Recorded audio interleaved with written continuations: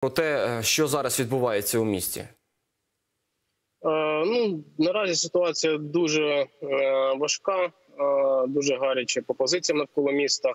Е, В самому місті також е, десятки обстрілів за добу. Якщо трошки конкретики, то за минулу добу 26 масованих обстрілів відбулось.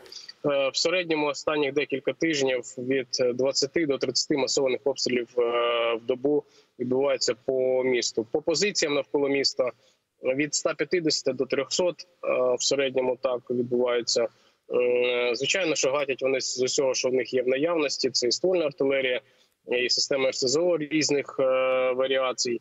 Це і ті ж самі ракетні удари, авіаракетні удари. Е, Вчора було три авіаракетних удари. Сьогодні вже два відбулось. Це це, це по місту, по позиціям. Е, Більше там і 6, і 8 відбувається. Е, В середньому, ну скажімо так, по взагалі по смузі оборони, то на нашому напрямку вона незмінна, вона стала. Всі ті спроби штурмових дій нашого ворога, вона вони закінчуються ну реально нічим. Жодного успіху вони не мають. Е, Навіть більше е, на певних напрямках е, є певні такі оперативні невеличкі успіхи у наших хлопців е, на північ від міста. Пане Віталій, Авдіївка надважливе місто, зокрема на російсько-українському фронті бойових дій. Е, Ми знаємо із е, повідомлення заступниці міністра оборони Ганни Маляр е, про те, що окупанти перекидають свої сили на запорізький напрямок, а також на Бахмутчину. Що стосується Авдіївки, чи бачите якусь ротацію, і чи відчувається хоча б якась зменшення, якесь концентрації обстрілів міста? Е, На рахунок штурмових дій дійсно їх трошки менше стало, але ж вони компенсуються артилерійськими обстрілами, компенсуються авіаракетними ударами. Е, Ну в день взагалі в місті ну тихо не буває. Е, І в зв'язку з тим, що позиції іноді дуже близько, там ну скажімо, мінімальна відстань між крайніми вулицями міста в старої частині до позиції там 300-400 метрів, то на позиції летить цілодобово і е, дуже дуже часто воно перелітає. Позиції летить в місто. Ну і ця близькість вона також е, знаєте дає таке враження, що навіть якщо в місто не прилетіло, то здається, що воно прилетіло саме в якусь там забудову міську. бо Ну, місто доволі компактне, воно невеличке і все дуже дуже ну дуже малі відстані. Е, вночі бувають певні якісь такі, знаєте, е, на, на декілька хвилин затища. Ну це повторюється саме в місті. По позиціям тиші взагалі не буває. Пане Віталій, приємно, що незважаючи на таку складну ситуацію, зокрема міста Донеччини і Авдіївку, е, відвідують люди меценати, які згодні потім відбудовувати ці самі міста. Авдіївку та інші населені пункти Донеччини днями відвідав американський бізнесмен і філантроп Говард Баффет, син інвестора мільярдера Ворена Баффета. Які результати цієї поїздки? Ну ще доволі е, зарано говорити про результати. Звичайно, до, до речі, він відвідав не тільки Авдіївку, він відві- відвідав е, сусідню Очеретинську громаду, і далі він поїхав в Великоновосілківську громаду. Тобто е, вони з командою це його супроводжував е, Майк е, Майк Капоні.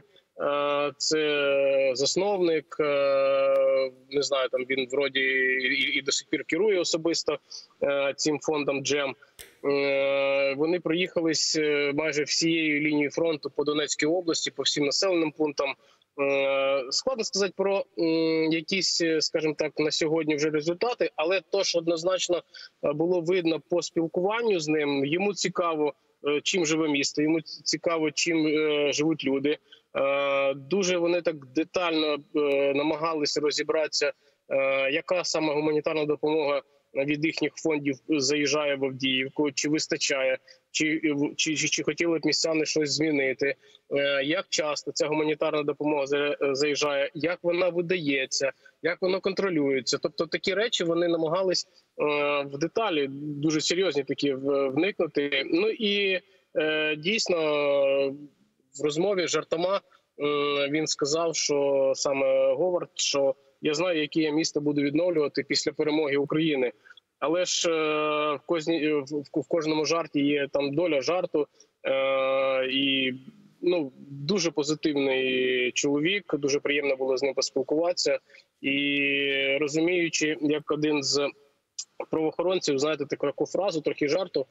е, Каже: Я взагалі не розумію, як ця людина, яка народилась е, золотою е, ложечкою в роті, там взагалі наважилась приїхати в Авдіївку. Тобто, це говорить про е, щирість тих е, м, дій. е, І, і, і, тих, е, скажімо так, донатів, які вони роблять, тобто вони роблять це відверто, і він дуже дуже таку серйозну він промову на рахунок там першої леді сказав і гаранта, що у нас дуже там потужний президент і найкраща в світі перша леді. І, і, він казав: поки я буду живим, ми будемо допомагати Україні в перемозі. Ну тобто, це такі дуже серйозні слова. Ну і всі люди, вся нація найкрутіша. Я впевнений також погодитися зі мною, пане Віталій.